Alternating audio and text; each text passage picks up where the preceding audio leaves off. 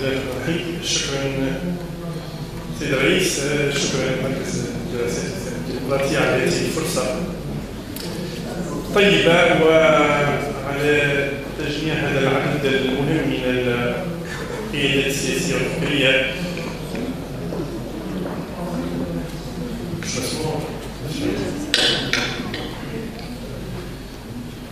قلت أشكر المركز الدراسات الإسلامية الديمقراطية وبالذات الرئيس مسعودي على والعاملين معه في المركز على هذا العمل المهم في تجميع هذا العدد المحترم من القيادات الفكرية والسياسية في العالم اللي جاءوا من ربما من القارات الأربعة مش الخمسة للنقاش حول هذه التجربة التونسية. ونحن سعداء بأن هذه التجربة تحظى بمثل هذا الاهتمام. صعوبتان في الحديث في هذا الموضوع ولهما أن آخر المتدخلين في هذا اليوم الدسم من التدخلات والنقاشات. قبل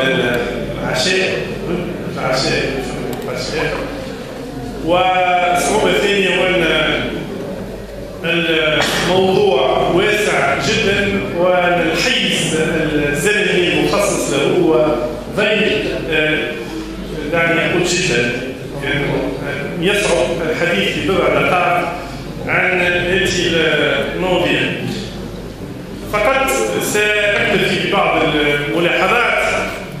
و هنا يعني أيضا من ناحية التقديم سأركز على بعض الأفكار. التي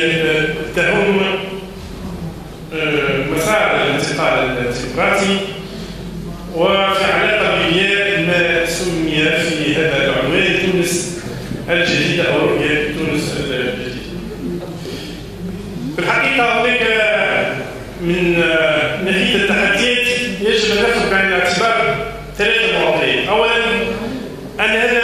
مسار وأن هذا انتقال وإنه انتقال ديمقراطي. مسار بمعنى لا نتحدث عن نقطة تاريخية يعني ليس تحولا من اللاديمقراطيه أو من الدكتاتوريه والى الاستبداد إلى منظومة ديمقراطية هناك مسار وعندما نقول مسار يعني هناك مراحل هناك البنيات هناك تطور هناك يجب أن تؤخذ بعين الاعتبار وثانيا إن هذا المسار هو مسار انتقالي بمعنى أن أننا لسنا في الجديد 100% ولسنا في القديم أيضا 100% اذا المنظومة القديمة جزء منها لا يزال متواصلا. نحن نستصحبه ونرافق هذا القديم وفي نفس الوقت جزء من الجديد معنى يقول ان يكون الجديد أو هذه المنظومه الجديده الديمقراطيه التي نتجه نحوها هي ليست مستكملة وليست حاضرة بجملتها. والمعطى الثالث هو أن هذا الانتقال هو الانتقال الديمقراطي بمعنى أن نتوجه نحو تمثل ونحو بناء هذا المثال اذا الديمقراطي المثال الديمقراطي دون أن تكون لنا بالضرورة كل مقومات الديمقراطية المكتملة مانيش في ديمقراطيه مكتمله استابلش الديمقراطي واجب استابلش الديمقراطيه معناها الديمقراطيه نحن في بناء في بناء هذه الديمقراطيه ولذلك نستحضر بحكم هذه المعطيات الثلاث انه عندما نقيم الديناميكيات الحاليه في الواقع التونسي بكل تنوع يعني الفضاءات ما هو موجود أو بمعايير ومقاييس الاوضاع الديمقراطيه الكامله المستقره ويجب ان ناخذ بعين الاعتبار اننا نقيم وضعا استثنائيا وضعا انتقاليا انتقال ديمقراطي هذا الحقيقة أقول لأنه عندما نسمع هنا وهناك كثير عندما تتحدث اليوم عن الوضع الأمني في تونس أو تتحدث عن الأسعار أو تتحدث عن الوضع الاقتصادي أو الوضع الاجتماعي أو الوضع في الفلجيات وكانها نتقلب من الأسود إلى الأبيض. يعني نتجاهل بأن هناك ورشات كبيرة للإصلاح في كل القطاعات التي هناك ديناميكية قاعدة تتحرك في كل هذه المجالات وأنه لا يمكن لنا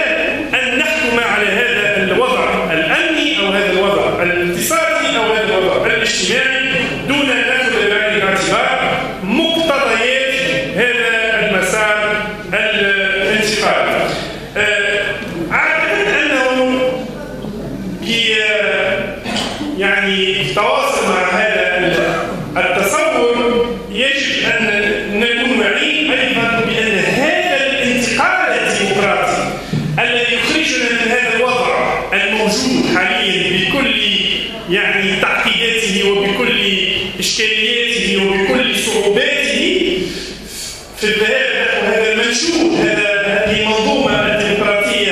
التي نؤسس لها. فنستحضر بأن هذا الانتقال الديمقراطي في حد ذاته هو أيضا له كلفة أي أنه يضيف إلى الصعوبات ويضيف إلى التعقيدات ويضيف إلى الاشكاليات الموجودة في المنظومه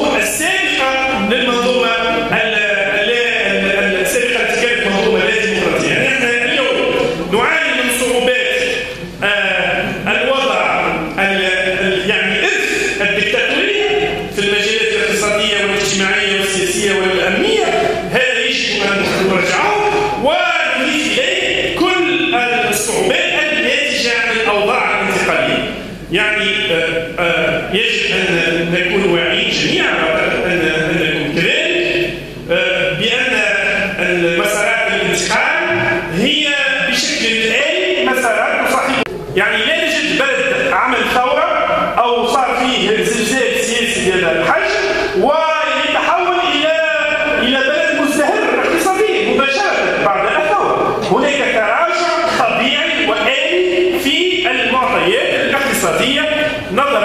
نظرا لأن بطبيعة الحال عندما نقول تغير في هذا الحجم نقول عدم الاستقرار نقول تخوف نقول ترهب إلى المستثمرين الاجانب المحليين. هناك يعني حالة من التحول التي تخلق حالة من الانتظارية لدى الفاعلين الاقتصاديين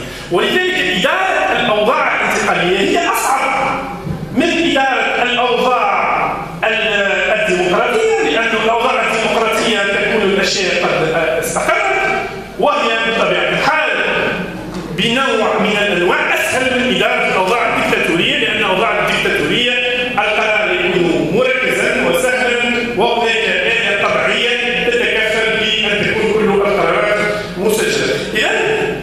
المؤسف هو أن هذه المعطيات المرتبطة بالانتقال الديمقراطي هي غير مستحضرة بالشكل الكافي عندما نتداول في الشأن السياسي بين النخب السياسية والفكرية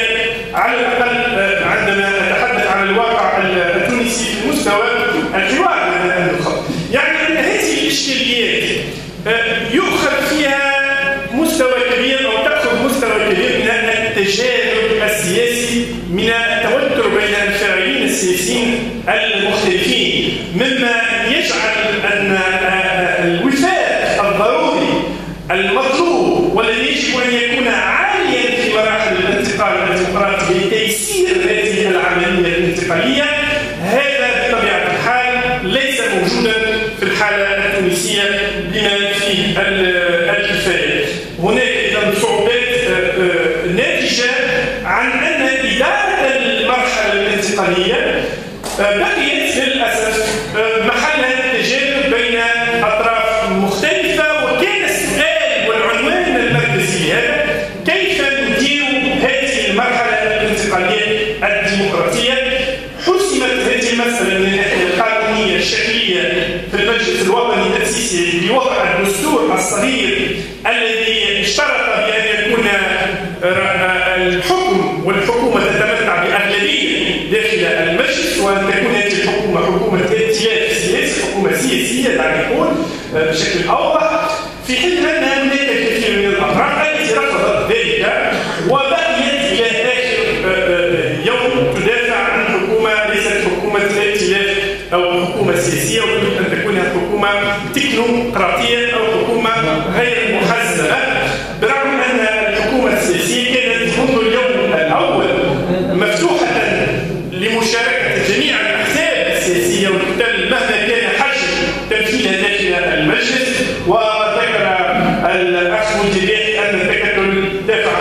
حكومة المصلحة الوطنية ونحن تركنا حكومة الوحدة الوطنية هناك من تحدث عن حكومة الوفاء الوطني مهما تنوعت التسميات كانت التوجه هو جمع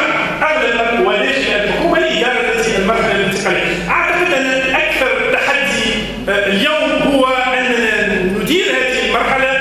بعقلية أخرى ليست عقلية الوفاء وحكومة المصلحة والوحدة الوطنية ولكن بعقلية التجاذب بين الأغلبية والمعارضة وأعتقد أن هذا لعب دورا كبيرا في تعطيل أو في يعني نسق الانتقال الديمقراطي في تعسير هذه العملية الانتقالية وأيضا في ربما تقويض امكانيات الانتكاس أو امكانيات الانتكاس التي تواجه هذه العملية. أعتقد اذا أن اليوم المطلوب هو اثنين مطلوب منا كسياسيين ساحكي على الناحية السياسية هو أن العملية السياسية تكون قادرة على أن لا تستنفذ كل وتستوعب كل طاقات المجتمع ونخرج من هذا التجاذب السياسي الذي اعتقد انه يمثل تحديا كبيرا اليوم ويمثل أحد أكبر الصعوبات وأن نفتح الفضاءات الحوارات والنقاشات ودعني حتى أقول حتى التجاذبات ذات الطابع الاقتصادي والاجتماعي. نحن مثلا من عندما نفتح أغلب القنوات التلفزيونية والإذاعية النقاشات التي تهم القضايا الاقتصادية والنقاشات التي تهم القضايا الاجتماعية تكاد تكون غائبه أو ضعيفه جدا في حين ان النقاشات السياسيه التي هي نقاشات تجاذبيه وصراعيه هي الاكثر حضورا بل انه أكثر من ذلك حتى وقت اللي نريد ان نناقش بعض القضايا ذات الطابع الاجتماعي مثلا ما سمعنا عنه من قضايا الاغتصاب أو قضايا يعني ربما التي تهم العنف الاجتماعي أو العنف حتى على الطفوله يستدعي أحزاب سياسية أو ممثلين أحزاب سياسية لتناقش فيها في اطار علاقه تجاذب سياسي في مواضيع اقتصادية نفس الشيء يدعى ممثلون أحزاب للتناقش في قضايا اقتصاديه ولكن أعتقد أن هذا الإشكال يجب أن ننفتح كمجتمع في هذه المرحله الانتقال على كل الفضاءات الاخرى وان نترك يعني المجتمع يتطور في كل هذه المجالات وان لا يتم التركيز يعني ال overdose هي الجرعه الزائده القويه من التسلل في كل شيء اعتقد ان هذا من احد اهم الاشكاليات التي تطرحها هذه المرحله الانتقاليه والنقطه الثانية هي ان ان العملية السياسية تكون قادرة على تقديم الحلول وتكون قادرة على الاستيعاب تكون قادرة على أن تجمع وأن تسمح ببناء معادله اجتماعيه مجتمعيه جديده تجمع كل شروط النجاح لتونس الجديدة وسأقول ربما بكل سرعه ثلاث كلمات في موضوع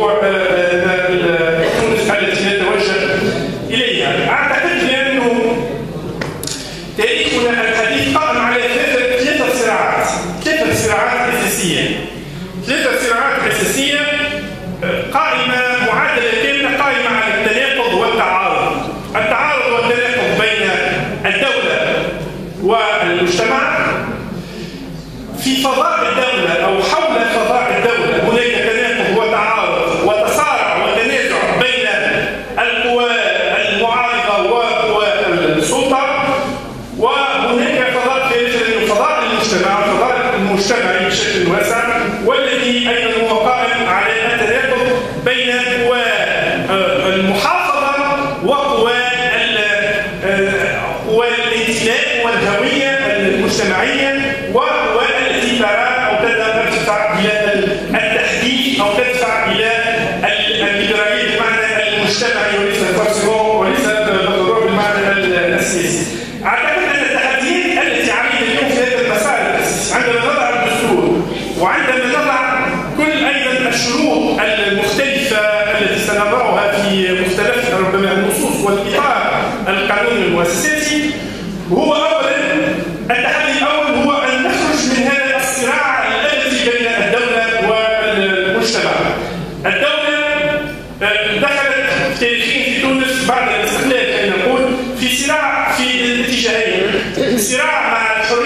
أرادت أن تحتكر حريات التونسيين وأن توظفهم وأن تجعل التونسي هو في خدمة مشروع الدولة. نجد يكون مشروع جيد أو أو سيء يعني مش هذا الشيء ولكن المنهجية قائمة على اعتبار آه، آه، استحضرنا مقالا آه، لرئيس الحركة الجنوشي في جريدة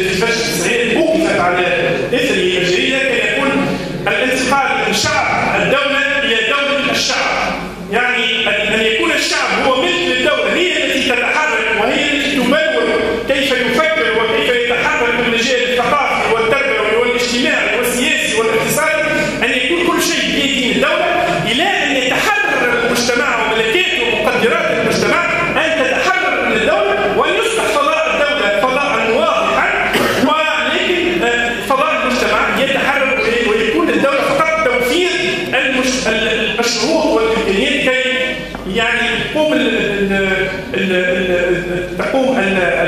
المجتمع يحرر الطاقات ويبلغ ربما أعلى درجات التنمية المجتمعية.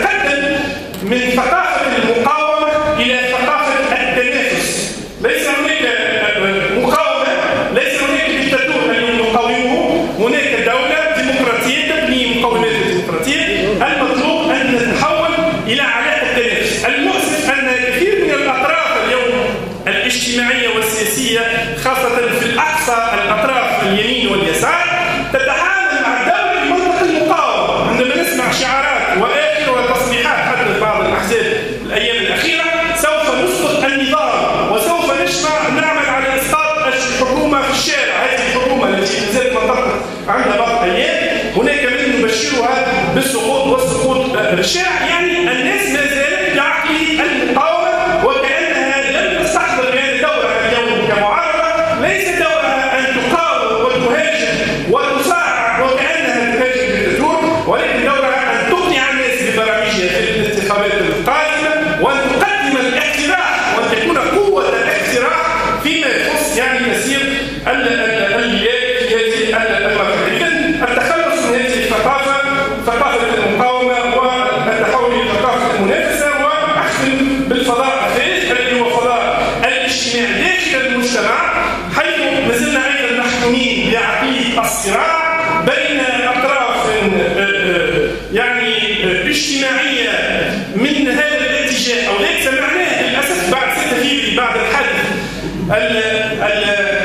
الذي حث تونس اغتيال الشهيد المناضل السياسي شكري بالعيد انفتح آه، يعني مجال من الخطاب